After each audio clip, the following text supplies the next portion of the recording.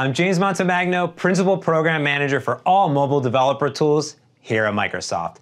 And I am absolutely ridiculously excited to show you how you can get started with the Xamarin Live Player and Visual Studio to rapidly iterate on your mobile applications with nothing more than an iOS or Android device. It's awesome, and I can't wait to show you how to get started. Now first, let me tell you a little bit about Xamarin and our approach to mobile development.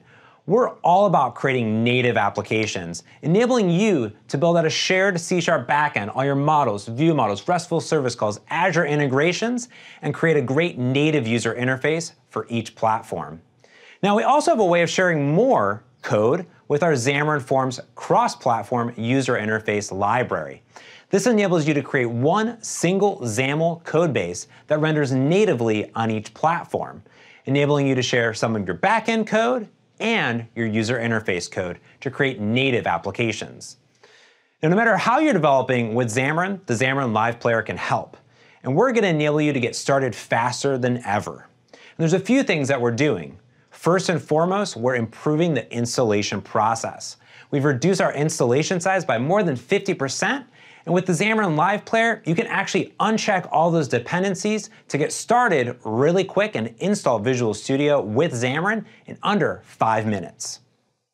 Now, not only do we make getting started and installing the product easier, we also made the first run experience even better. We have great cross-platform templates, Android, iOS, and even tvOS. And with the Xamarin Live Player, you don't even need to compile your code to get it running on a device. And finally, we're always improving our debug and build cycles, not only with the Xamarin Live Player, but even during that full installation and compilation step every bit along the way. But let's talk about the Xamarin Live Player, enabling you to continuously deploy and debug and iterate on your applications, again, with nothing more than an iOS or Android device, because that's where we'll interpret all of your source code and have a real debugger running on the device. And here's how it works.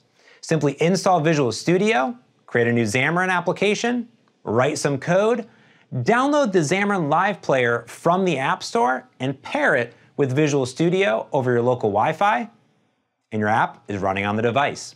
That's it, three easy steps to get started building and deploying applications for iOS and Android from Visual Studio. In fact, let me just show you how easy it is to get started with the Xamarin Live Player with Visual Studio 2017. Here I am inside of Visual Studio 2017, and I'm actually screen mirroring my Android device to show the Xamarin Live Player. Now, we'll first want to enable the Xamarin Live Player by going to Tools, Options, and under Xamarin in the bottom, we'll see Other, and that's where Enable Xamarin Live Player is at. Once you have enabled it, you'll have the live player functionality right inside of Visual Studio. The first thing I want to do is download the actual Xamarin Live Player from the App Store, and that's what I've done on both my Android and iOS device. Then we can pair it over local Wi-Fi by going to Tools, Xamarin Live Player, Manage Devices. Simply scan this QR code, and over your local Wi-Fi, your iOS or Android device will be paired and ready to deploy. Now I've created a simple Xamarin Forms application. I have a few different pages in here with a few elements. Here I have a label that says Welcome to Xamarin Forms and a button click handler that actually has a breakpoint set up so I can enable some functionality. So now inside of my dropdown we'll see the name of the device with player at the end. And I'll simply tap on that and hit debug. What this will do is submit all of the files over Wi-Fi to my device and it'll be interpreted right on the device with a live debugger right in there. So here we go. I have Welcome to Xamarin Forms and a button that says click. So let's click it. Since I'm in a real live debug session, I can actually hit those breakpoints in the code. So there's the breakpoint, I can hover over the actual variable, I can step over it, and now we can see test equals two. I can continue on, use my application as I would expect, or hit stop. Now what's great here is that we can also do this with iOS. So let me show you my iOS device that I have screen mirrored right here. Now, just like my Android application and device, I've paired it to Visual Studio. So here we can see my iPhone Player 2 has already been paired over local Wi-Fi. When I set the iOS device as my startup project, we'll be able to see that player in the dropdown. So we'll want to make sure that we select it. And simply again, hit debug. What's great here is over the local Wi-Fi, everything is submitted, and guess what? I hit click, I hit that same exact breakpoint, but now on my iOS device. We can continue on and continue developing our application. And while debugging my application is great, what I really like is rapidly iterating on the user interface.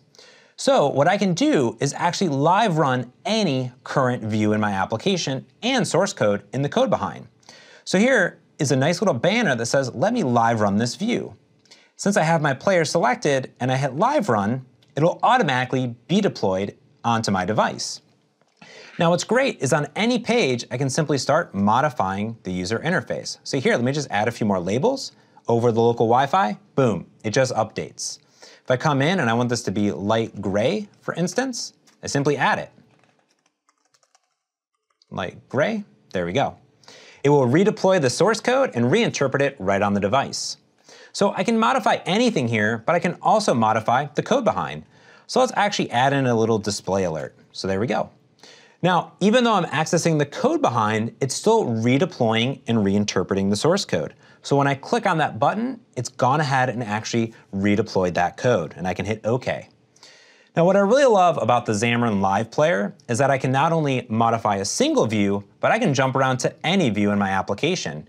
Here are some tabs, and I can simply tab on the tab, tap on the tabs, or I can come into my list view. It automatically knows my context. Whatever I'm currently looking at, I can come in, modify the code, or just simply view it in real time. It makes me super productive when I'm developing Xamarin applications and need to modify my user interface and my code behind. You can grab and download the Xamarin Live Player and get started right now today in both Visual Studio 15.4 and 15.5. So I just showed you how to get started with the Xamarin Live Player today for both iOS and Android with Visual Studio 2017. If you need more resources, just head over to visualstudio.com.